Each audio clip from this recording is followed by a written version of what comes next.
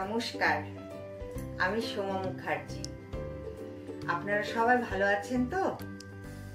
নিশ্চয়ই সবাই ঘরেই আছেন, আর আমিও ঘরেই আছি। সুতরাং সবাই ভালো থাকুন, সুস্থ থাকুন। এই কামনা করে আজকে আমি আমার ব্লগটা চালু করছি। আজকে আমি আপনাদের সামনে একটা নতুন রেসিপি নিয়ে এসেছি, সেটা হচ্ছে পাতুরি। ছোট মাছের পাতুরি। তা আমার এক বন্ধু ওর জানতে চেয়েছে যে কীভাবে মাছের পাতুরিটা তৈরি করা হয়। তা সেই জন্যই আমি সেই বন্ধুর রিকোয়েস্টেই আজকে আমি এই পাতুরিটা করে দেখাচ্ছি। তো চলুন, পাতুরিটা কীভাবে করতে হয় দেখাই আপনাদের সবাইকে। মৌরলা মাছ, আমি এই মাছের পাতুরি বানাবো আজকে। তা আমি এখন এর মধ্যে নুন,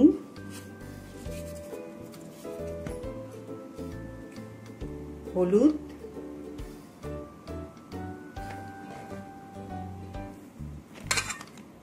আর লঙ্কার গুঁড়ো দিয়ে নিচ্ছি। এবার এটাকে ভালো করে মেখে নেব।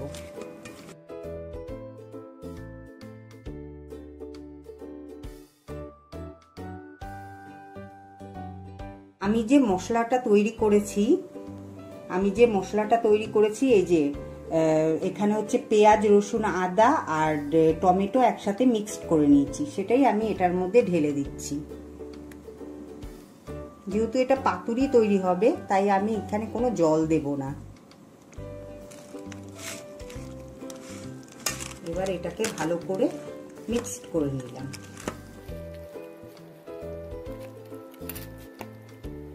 আমি এতে তেল দিয়ে নিচ্ছি। সর্ষের তেল।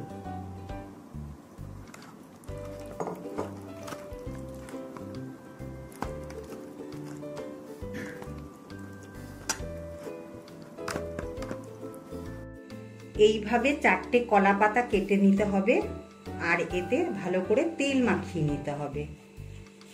তা আমি এই কলা পাতাগুলোর মধ্যে তেল মাখিয়ে নিচ্ছি।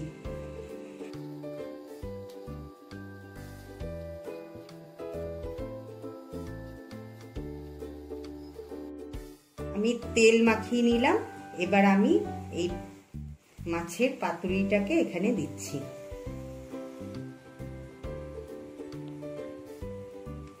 ভালো করে এটা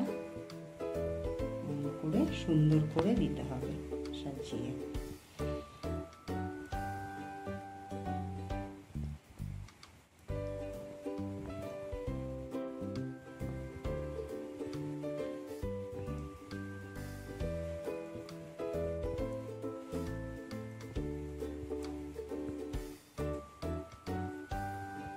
ভালো করে সাজিয়ে দিলাম।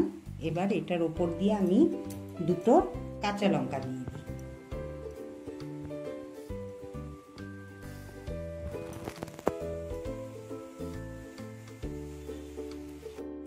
আমি এর ওপর দিয়ে আরেকটু তেল ছড়িয়ে দিচ্ছি।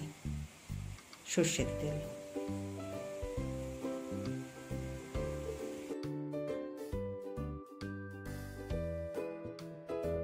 গ্যাসে তাওয়া বসিয়ে দিয়েছি।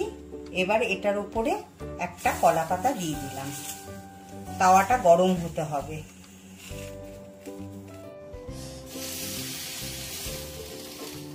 এবার আমি এটাকে তাওয়ার উপরে বসিয়ে দিলাম।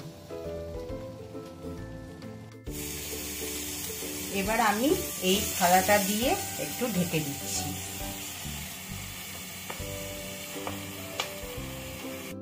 আমি ঢাকনাটা উঠালাম। দেখুন এটা কীরকম বয়েল হচ্ছে এবার। দেখুন ফুটছে। এরকম ফুটতে থাকুক কিছুক্ষণ, তারপর আমি এটাকে নামিয়ে আবার উল্টে দেব। আমি দশ মিনিট রাখলাম। এবার এটা দেখুন এরকম হয়েছে। এবার আমি এটাকে গ্যাস থেকে নামিয়ে আবার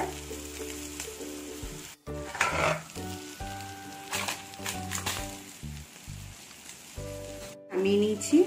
এবার এটাকে কলা পাতা দিয়ে একটা কলা পাতা, তেল লাগানো কলা পাতা দিয়ে ঢেকে নিচ্ছি।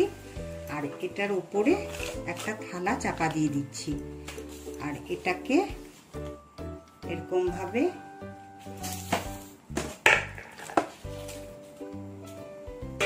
আর এগুলোকে আমি উঠিয়ে দিচ্ছি।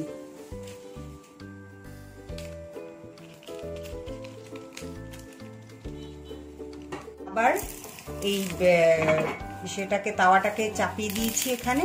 আর একটা নতুন কলা পাতা দিয়ে দিয়েছি। আর এই যে প্লেটে রাখা যে মাছটা, এটাকে আমি এখন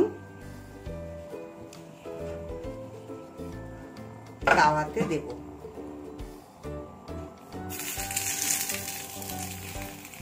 এই পাঁচটা ভাজা ভাজা হলো, এবার এই পাঁচটা হবে। এখন আমি এটাকে আবার ঢেকে দেব। পাতুরিটা আমার রেডি হয়ে গেছে, এখন আমি এটা সার্ভ করে দেব। দেখো, আমি থালার মধ্যে বেড়ে নিয়েছি। এখানে আছে হচ্ছে ডাল মোরলা মাছের পাতুরি, এখানে লাউ চিংড়ি, স্যালাড, লঙ্কা, লেবু, আর এখানে আছে জল। তাহলে পরে চলো আমরা এখন সবাই মিলে খাই। তাহলে দেখলে তো মাছের পাতুরি কীভাবে আমি তৈরি করলাম। তোমরাও তৈরি করবে বাড়িতে আর আমাকে ফটো তুলে পাঠাবে। আমি দেখতে চাই। আর তোমরা সবাই ভালো থেকো, সুস্থ থেকো। আজকে আমি এখান, এখনকার মতন এখানেই আমার ব্লগটা শেষ করলাম। Ta-ta, bye bye.